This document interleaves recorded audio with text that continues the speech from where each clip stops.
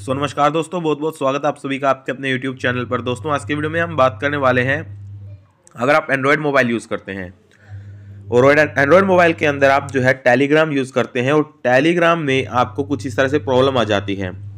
जब भी आप उसमें अपना नंबर डालकर कोड मंगवाने का ट्राई करेंगे तो आपके सामने कुछ इस तरह से प्रॉब्लम आएगी। जब भी आप लॉगिन करने का ट्राई करेंगे नंबर डालकर। Too many attempt please try again later जब भी आप नंबर डालकर लॉगिन करेंगे तो ये प्रॉब्लम आपको आएगी। बार बार आपको ये प्रॉब्लम आ रही है तो आपको अगर सॉल्यूशन नहीं मिल रहा है तो आज की वीडियो में आपको बताऊँगा कैसे इसको सॉल्व करना है। तो इस वीडियो में एंड तक बने रहेगा वीडियो अच्छी लगे तो लाइक कर देना चैनल को सब्सक्राइब कर लेना। इसके लिए आपको सिंपल से काम कर लेने हैं। सबसे पहले तो प्ले स्टोर पर आना है। यहाँ पर टेलीग्राम जो है आपका, उसको सर्च करना है।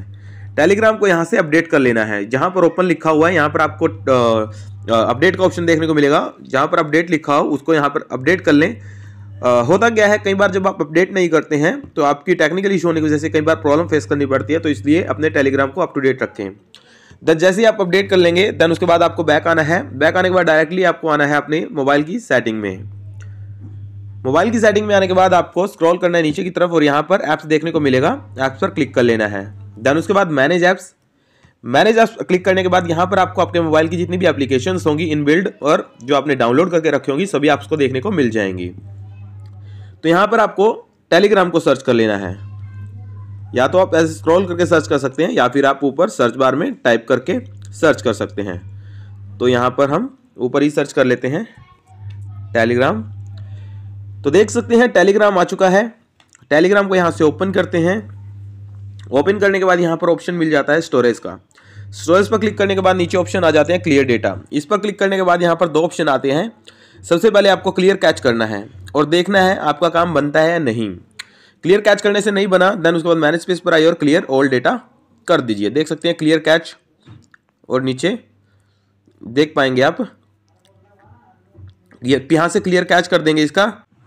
यहाँ पर नॉर्मल क्लियर कैच देखने को मिल रहा है, ऊपर थ्री डॉट पर जैसे ही क्लिक करेंगे तो क्लियर लोकल डेटाबेस है, इस पर आपको क्लिक कर देना है क्लियर लोकल डेटाबेस पर। तो इसका क्लियर ओल्ड डेटा भी हो जाएगा। देन उसके बाद आपको बैक आ जाना है।